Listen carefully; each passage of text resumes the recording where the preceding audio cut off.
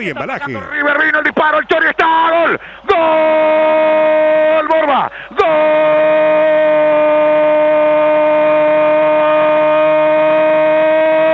de River, gol de River que es una bomba, gol de River, gol de Arcenero, fue el Chori, enganchó, lo dejó pagando en la mitad de la cancha Araujo, la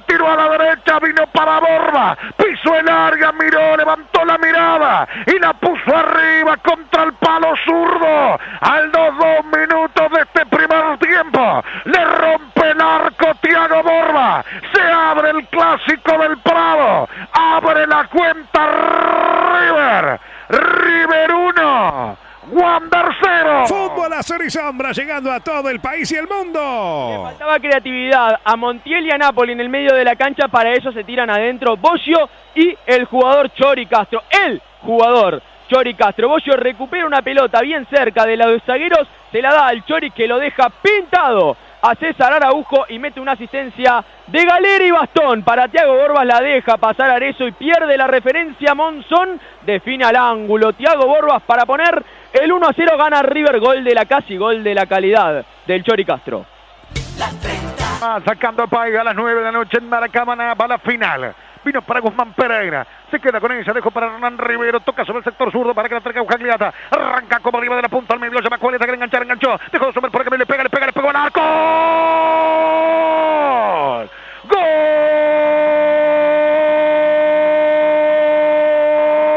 ¡Golazo! ¡Golazo de Wander Cuagliata! Enganchó a la izquierda, enganchó hacia adentro. Se fue entre dos. Sacudió el rebenque.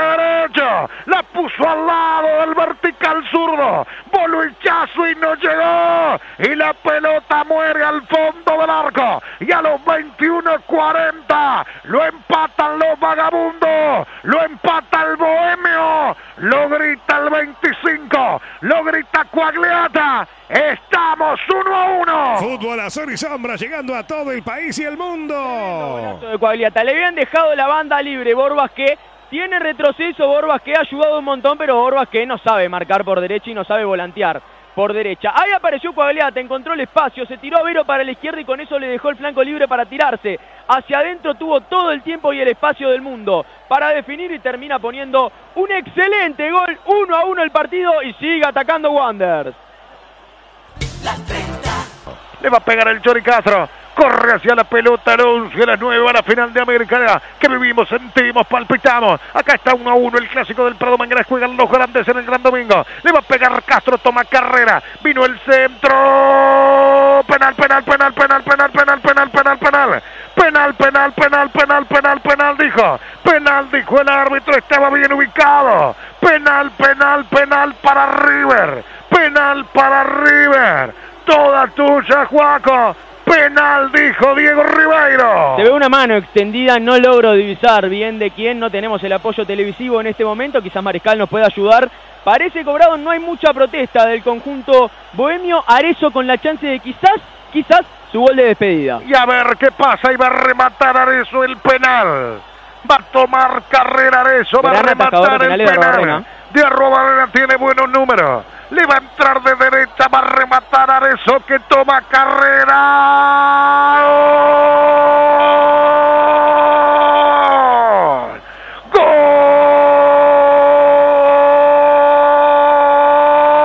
Gol de River. Gol de River, la cosa del Prado. Le pegó fuerte y al medio. Se volcó contra el vertical zurdo de Arrobarena. Y el clásico del Prado es de Matías Arezo que le rompió el arco, que lo grita, que lo pone arriba va River. Arezo la joya del Prado a los 35 minutos de este segundo tiempo. Le rompe el arco a Diego Barrena. Lo gana River 2 a 1. Fútbol azul y sombra llegando a todo el país y el mundo. Con olor a despedida, lo grita parado, levantando los brazos, saludando a sus compañeros. Parece más afuera que adentro. Arezo del conjunto de Arcenero pateó bien, fuerte y al medio. Como hay que patear los penales que son calientes, pone el 2 a 1 y River a falta de 10, quizás sin merecerlo tanto, quizás mucho más marcando que saliendo, pone la ventaja en el partido.